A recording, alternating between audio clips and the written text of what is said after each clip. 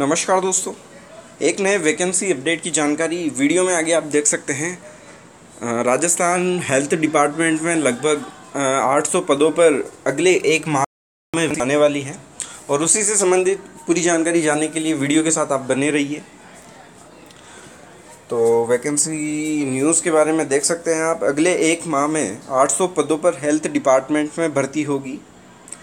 राज्य में स्वास्थ्य विभाग की ओर से संचालित विभिन्न वर्टिकल नेशनल हेल्थ प्रोग्राम्स में तकनीकी विशेषज्ञों पैरामेडिकल स्टाफ काउंसलर एवं लेखाकारों और न्यूज़ को आगे जानने से पहले ये मैं क्लियर कर देना चाहता हूँ कि ये न्यूज़ कब की है ताकि आपको किसी भी तरह का डाउट ना रहे।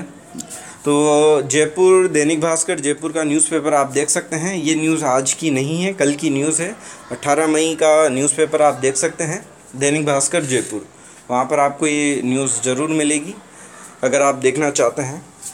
तो इस प्रकार से ये 800 पदों पर हेल्थ डिपार्टमेंट में भर्ती होगी, और इन पदों में आप देख सकते हैं हेल्थ प्रोग्राम में तकनीकी विशेषज्ञों, पैरामेडिकल स्टाफ, काउंसलर एवं लेखाकारों आदि के करीब 800 रिक्त पदों की भर्ती एक माह में शुरू होगी। स्वास्थ्य सचिव एवं मिशन निदेशक नवीन जैन ने गुरुवार को इसकी प्रक्रिया यथाशीघ्र पूरी करने के लिए अधिकारियों को निर्देश दिए। उन्होंने प्रदेश में राष्ट्रीय स्वास्थ्य मिशन के तहत संचालित विभिन्न राष्ट्रीय स्वास्थ्य कार्यक्रमों का व्यापक क्रियान्वयन कर इसकी गुणवत्तापूर्ण सेवाएँ आमजन तक सुनिश्चित की जाएगी। तो ये एक वैकेंसी आने वाले समय में आप देखने वाले हैं। 800 पदों पर हेल्थ डिपार्टमेंट से संबंधित है और बाकी की वैकेंसीज़ की जानकारी आपको है कितनी वैकेंसीज रा, अभी राजस्थान गवर्नमेंट के द्वारा निकाली गई हैं जिसमें अधीनस्थ बोर्ड आरपीएससी दोनों के द्वारा बम्पर भर्तियाँ निकाली गई हैं।